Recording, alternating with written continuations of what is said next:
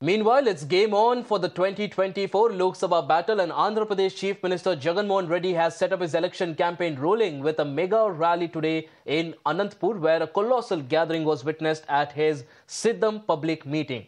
Addressing the enthusiastic crowd, CM Jagan urged them to mobilize support, vowing to confine the TDP in both the upcoming Assembly and the Lok Sabha polls. In fact, Jagan also promised to uplift the life of the underprivileged through quality education and slammed what he called the TDP's capitalist ideology.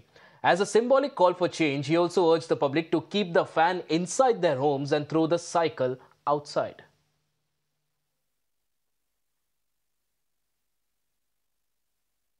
This is, of course, uh, the visuals uh, that we're getting you from the massive rally that uh, Chief Minister Jagan Mohan Reddy had hosted today. He said that over a million people would be in attendance, and from the looks of it, uh, there were quite a lot of people in attendance. So, this is clearly Jagan Mohan Reddy's attempt and a show of strength just ahead of the Lok Sabha polls. A big battle for him, and he is clearly now in battle mode.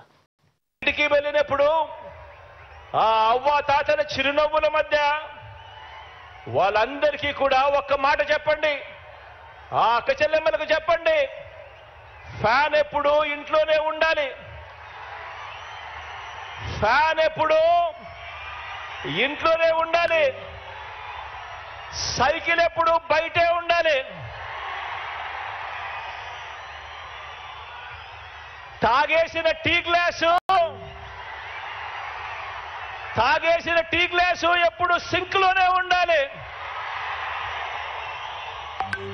ఆ అక్క చెల్లెమలకు మీరంతా కూడా ప్రతి ఒక్కరికి కూడా అర్థమయ్యేలా చెప్పండి.